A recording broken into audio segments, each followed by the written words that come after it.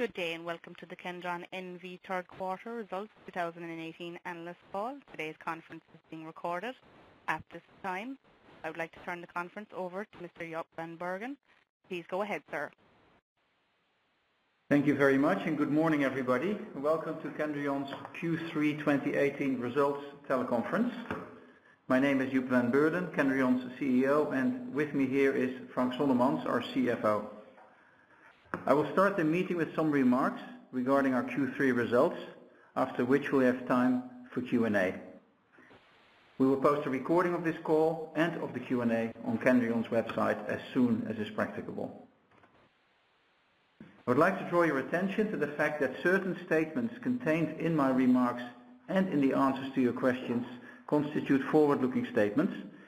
These forward-looking statements rely on a number of assumptions concerning future events and are subject to uncertainties and other factors, many of which are outside the company's control, that could cause actual results to differ materially from such statements. As you will have seen from our press release of this morning, we've had a difficult quarter as the market for passenger cars has deteriorated over the past few months, especially in China and Europe.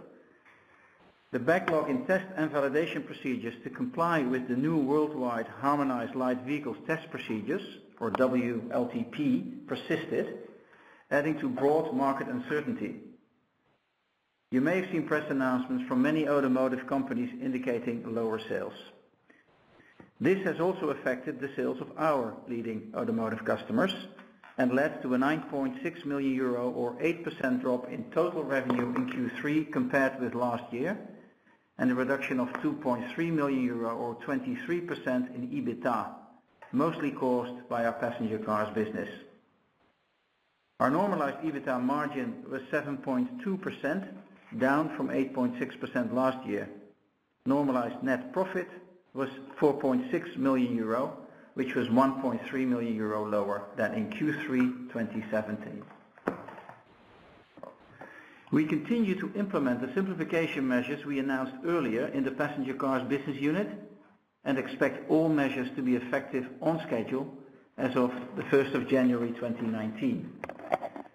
And Notwithstanding the short-term pressure, we continue to focus our resources and investments in passenger cars, specifically in the areas of electrification, autonomous driving, safety, and comfort, in permanent magnet brakes for robotics, and in China, where we see and tap into healthy growth opportunities. And Talking about China, passenger cars revenue in China posted double-digit growth in Q3 as the ramp-up of new projects more than compensates for the downward pressure on existing production. In August 2018, at our Capital Markets Day, we announced our strategic update for 2019 to 2023. Since 2016, Kendrion has simplified and refocused the company based on the Simplify, Focus, and Grow pillars.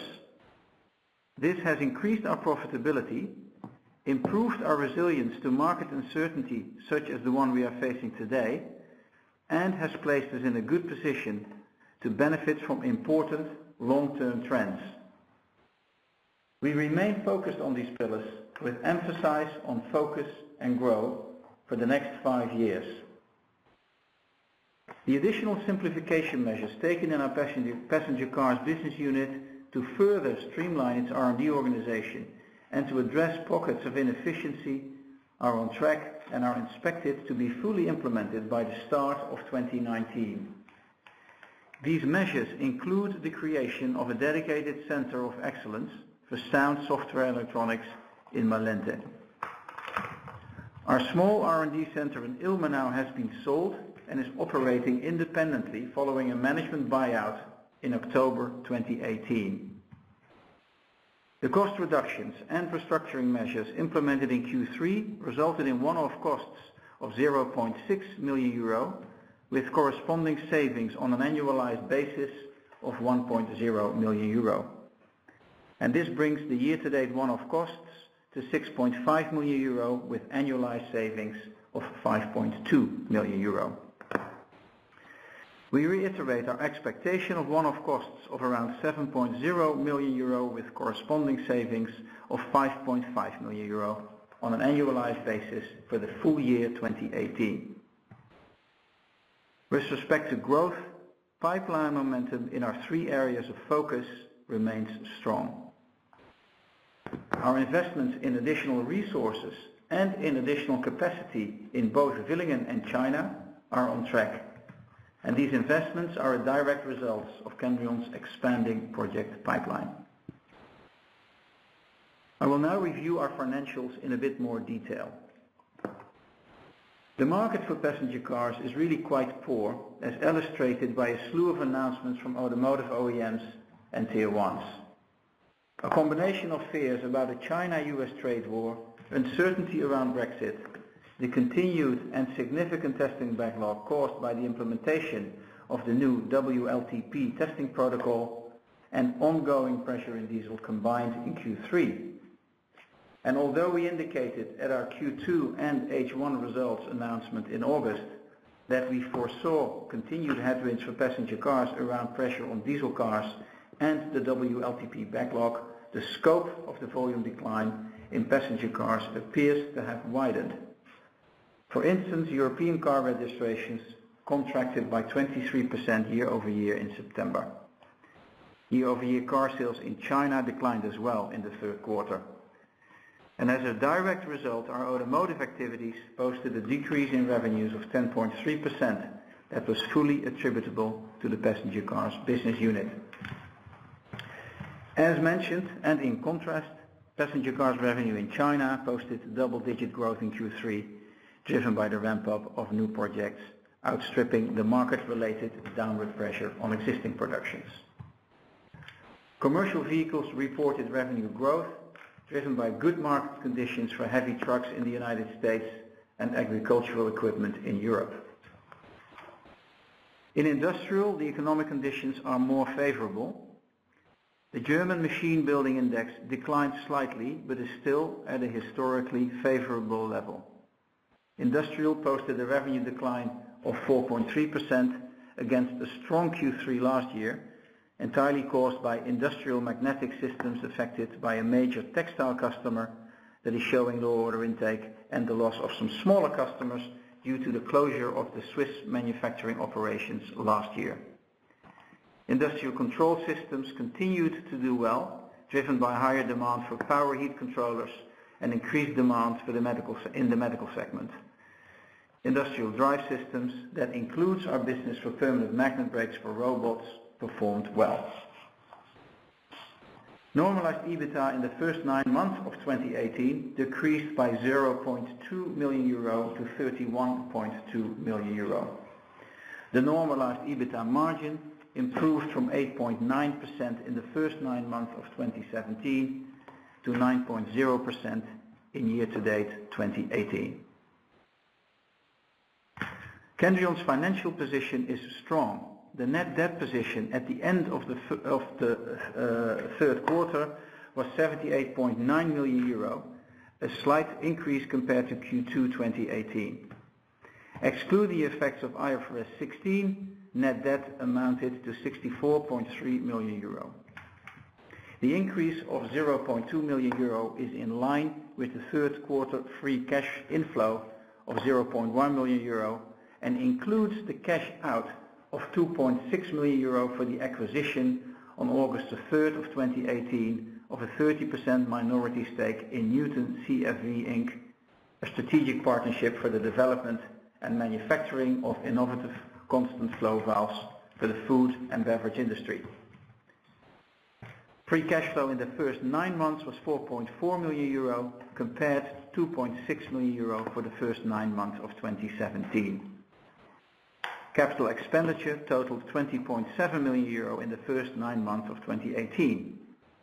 Investments for the full year 2018 are expected to be well ahead of the depreciation level as a result of Kendrion's expanding project pipeline and largely due to new automotive projects and the capacity expansion in permanent magnet brakes for robotics. Kendrion's financial position is strong, with a solvency ratio of 48.2% at the end of September 2018. Excluding the effects of IFRS 16, the solvency ratio is 50.1%. The number of employees in full-time equivalents at the end of Q3 2018 stood at 2,573, including 128 temporary employees, as compared to 2,661 employees, including 142 temporary employees at the end of Q3 2017, a 3% decrease of 88 FTEs. The number of indirect employees decreased by 52 FTEs and is part of that 88. Finally, a few words on our outlook. I think it's fair to say that the scope of the volume decline that we've seen in the market for passenger cars appears to have taken the market by surprise, and we are no exception. Looking ahead, we expect the difficult market conditions in automotive to impact our 2018 total revenue and EBITDA margin. We now expect our 2018 total revenue to come in slightly lower than in 2017 and expect our underlying EBITDA margin as from the end of 2018, including the annualized impact from simplification measures taken, to be more than 9%.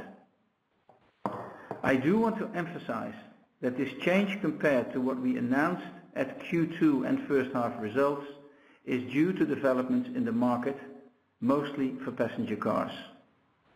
In terms of our operational performance and our project pipeline, we are doing well, and with a leaner and simpler organization, we are more resilient to market-related fluctuations and headwinds that invariably occur from time to time.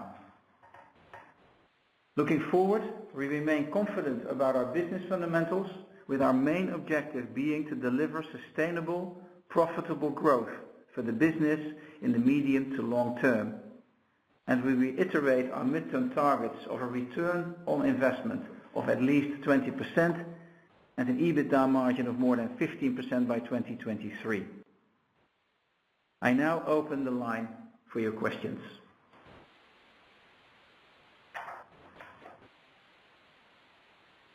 Thank you. Ladies and gentlemen, if you wish to ask a question at this time, please press star one on your telephone keypad. Please ensure the mute function on your telephone is switched off to allow your signal to reach our equipment. Again, please press star one to ask a question. We will now take our first question from Frank Claassen from Degroof Petercam. Please go ahead. Yes. Uh, good morning, uh, good morning, uh, gentlemen. Uh, Frank Claassen, Degroof Petercam. First of all, on your uh, revised uh, guidance for the EBITDA margin of more than 9% uh, as of end of 2018, so let's say, going into 2019. What is your revenue assumption here? Um, do you expect to return to top-line growth, or what are your assumptions to get to this 9% EBITDA margin?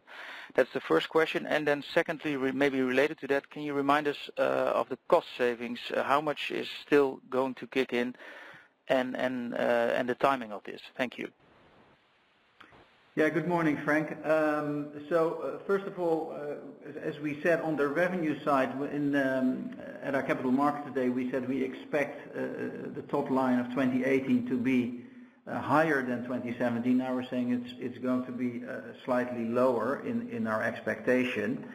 Um, now, if you look at the year-to-date revenue, you see that it is roughly at the same level of last year, Uh, 346.7 versus 352.3, so slightly below that.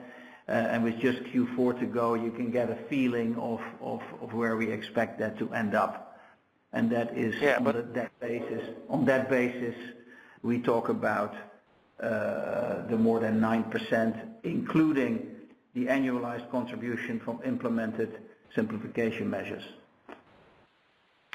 I'm uh, sorry to interrupt, because I'm more looking into 2019. I I read the 9% EBITDA margin target also moving into 2019. Uh, is there uh, some assumption underlying this, or what can you say about 2019 Well, so we we do not guide uh, for 19, as you know. Um, first of all, the the big question is going to be how the market is going to behave in 2019. Now, of course, uh, we don't know that, and it's it's hard to really judge that.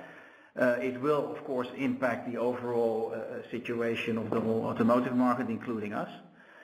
Um, so, so I I, do not want to um, Uh, guide for that because I simply don't know.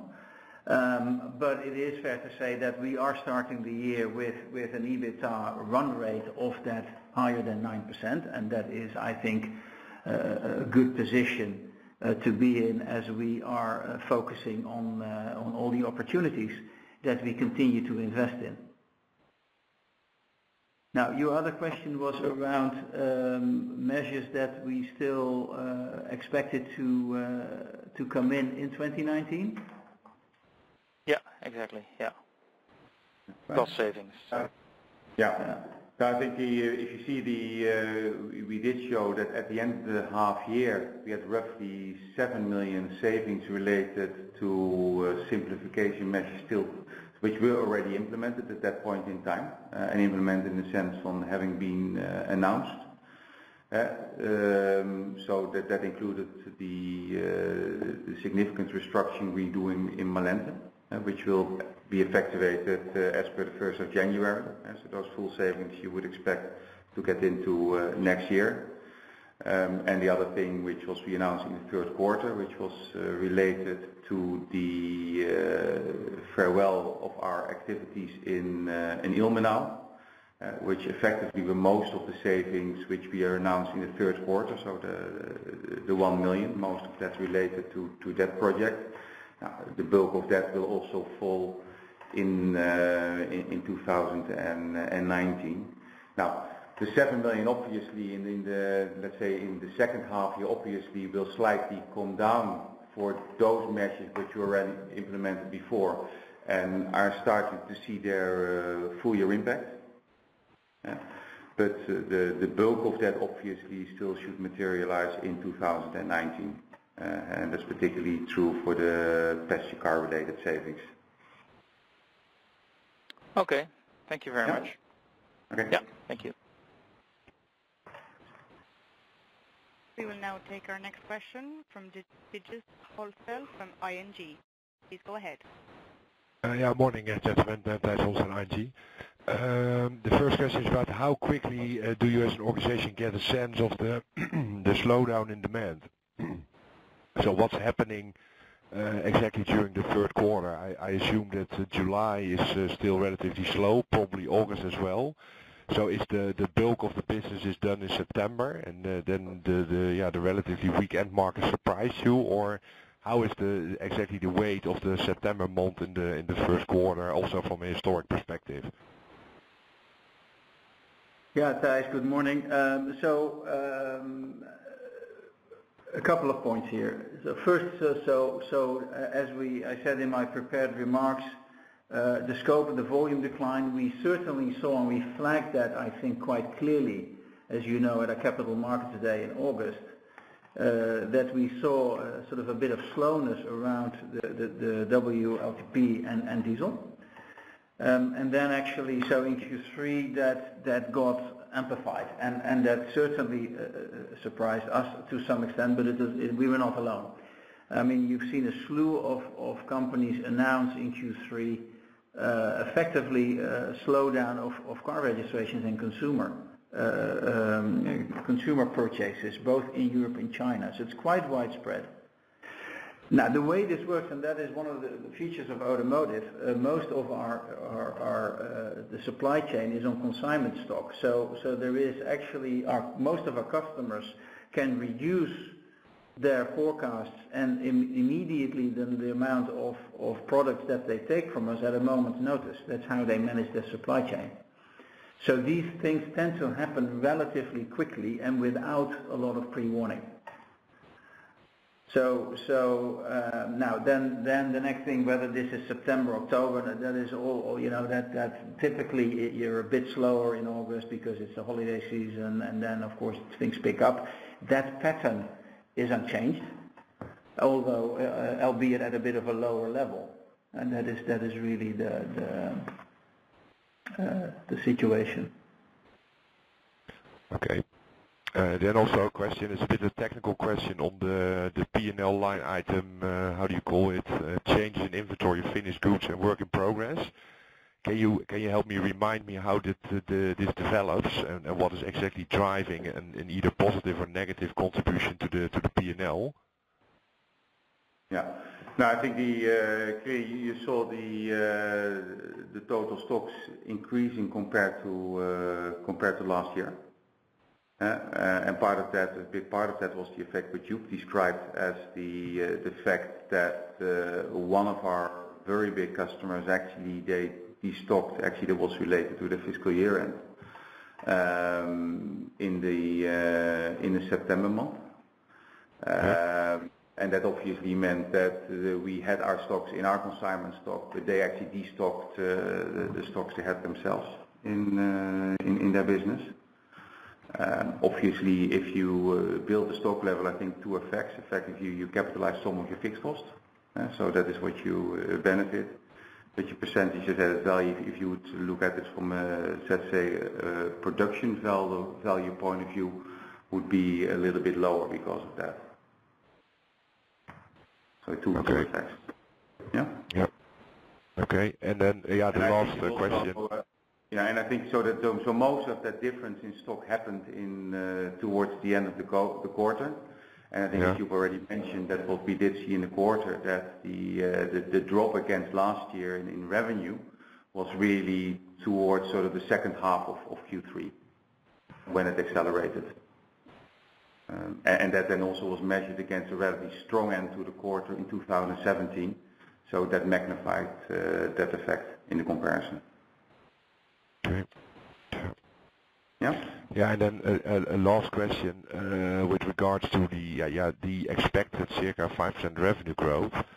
Uh, I mean, I fully understand that the end markets are as they are, but if you if you provide such a target, I would assume that you have right kind of a concrete visibility on a certain ramp-up of new projects or parts of the business that are really exposed to a market segment which is outpacing the global market. So also, uh, on on Frank's question, what is your visibility on potential ramp-up of these uh, new projects for the next, let's say, two, three quarters?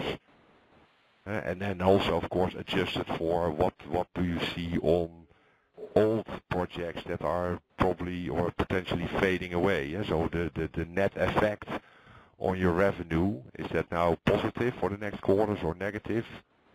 Can you give us a bit more clarity on that? So um the first thing to mention is that we have very purposely, uh, uh, at our Capital Markets Day, issued a plan that is running for five years. And the reason that is uh, purposely done is that design-in cycles, as you know, Thijs, are two to three years. Um, your pipeline can be can be uh, filling up quite quickly, and the impact and the positive impact of the revenue ramp is, in some cases, two, three, four years down the line. That is just this, that is the way this industry behaves. So we continue to be, uh, and this is one of the things I really want to iterate, that if you look at the current uh, uh, market situation, this is is almost exclusively outside of Kendrion specific events. The market is what the market is. If people stop buying cars, we stop selling the relevant actuators to our customers. It is simply that, that's simply the way it is. At the same time, uh, with a highly streamlined and lean organization, uh, my claim is we are resilient against that. We can, we can weather those types of headwinds that you have to anticipate from time to time in the automotive market. And we continue to invest uh, uh, aggressively and appropriately in these opportunities that we see. Now that is not a quarter-by-quarter discussion, and that is one of the reasons that that you know uh, we do not want to, because the thing is, you you have to overlay your pipeline and the ramp of certain projects that in itself, of course, fluctuate a little bit, but you don't have them have them exactly Uh, uh, uh, nailed per month. You have to overlay that with ramp downs, which have the same effect, and then you have to overlay that with the way the market behaves.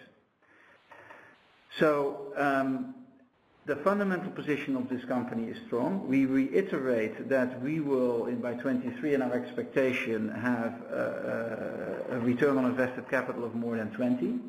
That means on average profitability or rentability increase of around 8%. Now that is not going to be 8% every year or every quarter, but that is what we see in our pipeline and our opportunities, and we reiterate that.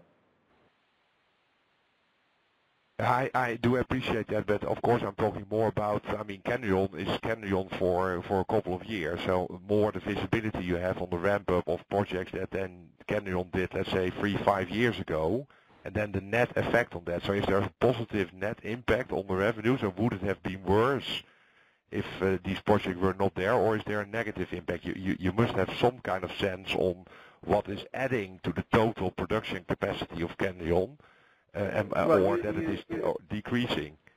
I point you to the investment that we do in additional capacity in China. I point you to the investment we make in additional capacity for robotic brakes. Uh, I point you to the fact that in in uh, August, we we clearly showed that in China alone, our pipeline uh, has grown with 240 million euros over the past two years. And Of course, you can you can be sure that we're not saying, "Okay, that's nice, we stop now." So There is more opportunities there. So, so, and, and I point you to the statements that we're making here that, you know, the pipeline momentum in the areas of focus and in the opportunities that we see are great. So, so uh, the positive, the net effect, to give you an answer to your question, but I know you want to be much more quantitative, but I, I, I don't want to do that, is yes, it is positive. And, and you look at, at the prospects of this company over the next coming years, uh, they are good, very good. Okay. Yep. Thank you. As a reminder, please press star one to ask a question. We will now take our next question from Gideon Nunes from Kepler Cheuvreux. Please go ahead. Yes. Thank you very much. Good morning, uh, gentlemen. Um, My first question is on pricing. I think the uh, the pressure on the volume is uh, pretty well understood, but can you talk a bit more about the dynamics that you're seeing in pricing, um, and then the difference between new and existing business and maybe differences between geographic regions? Um, And Secondly, uh, coming back to that table that you've shown for China, the 240 million, um, with the deteriorating market environment, Can you confirm that that number is still standing, or should we take some volume uh, pressures uh, into those uh, expected values as well? Yeah, Guido, thank you. Good morning. Uh, So First on pricing, um, there isn't actually uh, uh, a lot of development there. Typically, that is reasonably stable. Uh, We earlier talked about the fact that the supply chain, the automotive larger customers, tier ones and OEMs, have a lot of flexibility around calling off product if they need them and not calling off product if they don't, which of course affects uh, immediately on revenue and also to some extent on working capital and stocks. Uh, On pricing, we have long-term agreements with our customers um, that is more that is more stable. So There is not a market effect on that. Uh, And On China, I can can certainly confirm that pipeline that we talked about um, of 240 million euros is intact. Uh, And As I said earlier, um, it's not here to update that, and there will be uh, in the future, we may decide to do that, but we obviously push extremely hard to actually increase that. But but There's certainly not uh, any impact on uh, the 240, a negative impact, let me say it like that. Uh, And That is, I want to make that point a bit broader. Uh, If you look um, at, uh, but this is sort of a feature of the automotive market. Um, It is a cyclical business. You have to deal with uh, con- uh, conjunctural headwinds such as the one now. They can happen quite unexpectedly, as what you see now in Q3 and or in the second half, I should say more accurately, did not not just to us, but to basically all players in this market. At the same time, it's a long-term business. The investment levels uh, in R&D, the projects that we have with the customers around new technologies uh, or updated uh, versions of existing products continue without any interruption. Thank you. And Maybe as a follow-up on the pricing question, um, can you just give a bit more color on, okay, I get that the existing business has long-term agreements, but what are you seeing on the newer projects? Is that different from before? Um, and Also between Europe and China, I'm quite interested how that how that is playing out. No, it is really not nothing new. Uh, it is, I would say if there is a more mature product that, that is well understood and an incremental improvement over the one before, then typically you are faced with a little bit more pricing pressure, but that is not new. That's always been like that. Uh, if you talk about newer developments um, in in sort of our future bucket, then uh, you have a little bit more leeway, if you like, Uh, to negotiate uh, pricing. But on on average, if you do that through through the portfolio, uh, there is no market change there. Okay, thank you. We will now take our next question from Johan van den Hooven from NIBC. Please go ahead. Good morning, Johan van den Hooven, NIBC.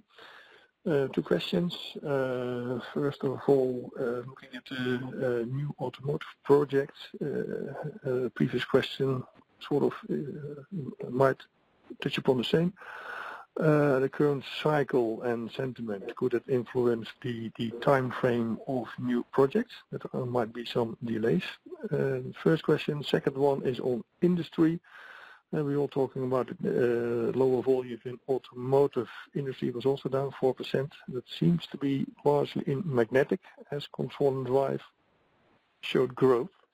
Am I correct? And can you uh, give some more information about uh, what the reasons were in magnetic and if that's purely Q3 related and not to be expected again going forward? Thank you. Yeah, Johan, good morning. Um, so on the project, so uh, just reiterating a little bit, we just earlier uh, said in response to Guido's question. So uh, Yeah. Projects and the cycles unchanged. So, time frames are, you know, they're long cycles, but the time frames are unchanged. Our customers and ourselves, we continue to work diligently on these projects on our pipeline, Uh, not distracted by uh, by the more short-term nature of these types of market uh, fluctuations. So I think that is, that is, there is, there is, no, yeah, it's all good. On the industry, you're right. so 4% decline, just a bit of context. So First of all, it's against quite a strong quarter last year. Last year, you may remember, industry grew 12% year-over-year. So, so that is maybe Uh, uh, to give you a little bit more context on uh, how to interpret that four. Um, generically, as I said also in my remarks, industry is in a good place. Um, the German machine building index, that happens to be sort of a good indicator for for all these different 30 segments that we're in, it came off a little, but is still historically at a good level. We see that in, in, in we see that in, in our business. Now, specifically then, there's one one thing in IMS, uh, Industrial Magnetic Systems. There is one larger customer there that is currently facing uh, uh, some some reductions in their own sell-through of their products. That's a large customer, so clearly we we are dealing with that. It's very difficult to say how long that will will, will go on. Um, it's not our end market, as you can well imagine. And then there is a very specific element that, that last year, Uh, we discontinued operations uh, in our Swiss factory, and uh, so you see a bit of the year-over-year impact on that as well. But I mean, say fundamentally, you look at ICS, you look at IDS, you look at everything that happens in on the brakes for robots, industry is doing well. All right. Thank you. As a reminder, it's star one to ask a question. We'll now take our next question from Martin Verbeek from The IDEA!. Please go ahead. Morning, it's uh, Maarten of uh, The IDEA!. A couple of questions. Firstly, uh, on the back of the savings, which you still expect to be realizing at the end of the year. Mid, you were at seven. Um, this quarter, you announced a restructuring measure, which should bring you 1 million. Um, if we still look what you expect for Q4, that is around about 0.7. So if I add these together, I would be at uh, 8.7. How much of these savings do you think to realize in H2, and therefore, how much do you still expect to have running into 2019? Just to get a better feel for the margin targets you uh, you uh, projected. Okay, Frank? Yeah. Shall I? I think it was largely answered to Frank's earlier question. Um, I think we uh, still have to do, by the way, 300,000 based on our guidance. We're here today at uh, the savings level uh, at, what is it, 5.2, and we guided for 5.5, so there's 300,000 still to go. Um, obviously, of the seven, some of that will actually certainly the carryover effect on already implemented projects earlier, that will disappear in the second half. So that will no longer be there. Uh, the 1 million in Q3 related to the uh, stopping of our activities, at least which uh, in the end ended in a management buyout in the research center in Ilmenau. That is the 1 million savings. Now, I would say three quarters of that probably is going to happen in 2018. and Then we have the big Malente restructuring. Um, those numbers where the Malente was already included in the 7 million, which we uh, added to the last 12 months when we uh, talked at the Capital Markets Day. Uh, so, so Effectively, what I would expect that that, that 7 million, uh, that will be lower at at year-end. Now, How much it is also depends a little bit how quickly implement or see the savings on some of the other projects, but it will be lower than that than that amount, Uh, which is still carry over 2018. Uh, okay. Secondly, and then secondly, on the uh, diesel, could you provide how much sales you still do in diesel last 12 months, or what kind of decline in absolute terms you experienced in in in the third quarter? Well, what I would say there is, if you recall, we had quite a specific slide on in the Capital Markets Day. Yeah, therefore, because uh, that mentions Yeah the 63 million uh, uh, last 12 months. Yeah. If I look at the sales decline in the third quarter, just for automotive, that is, um, I guess, some 7 million.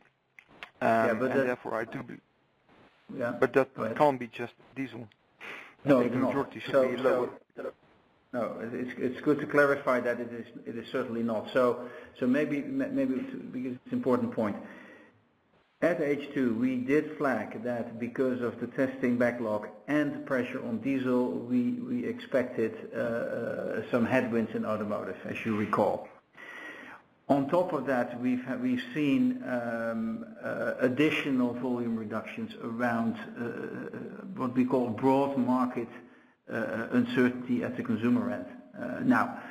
We, not just us, we've seen that industry-wide, specifically in in, in Europe and in China, which of course is a large chunk of the global automotive market. Um, this is unrelated to WLTP. This is unrelated to diesel. Um, we think, and with us are our customers, and of course we talk about it in the industry, it is related to broader uncertainty around the potential trade war, around Brexit, and all these other things that I mentioned in my prepared remarks. So It is definitely not the case that the volume uh, reduction that we have seen uh, in this quarter is uh, attributable to diesel only. It is, it's still there, it's part of it. The WLTP backlog is part of it, but it's broader than that because of all these other effects that I mentioned. If you look at the 10.3% decline, could you give a broad range if you would divide it into three? How much is due to diesel, WLTP, and due to car registration? Mm-hmm. Uh, well, if you... I don't want to do that, as you probably uh, uh, can imagine.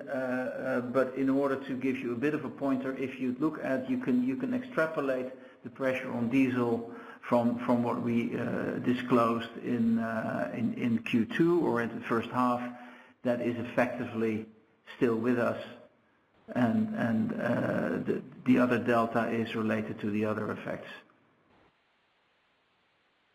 Okay, thank you. There are no further questions over the telephone at this time.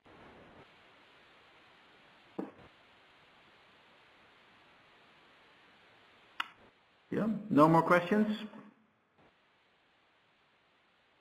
There are no questions at this time, no. Okay, then uh, I thank everybody for uh, for the attention. And if you have any follow-on questions, then then you know where to find us.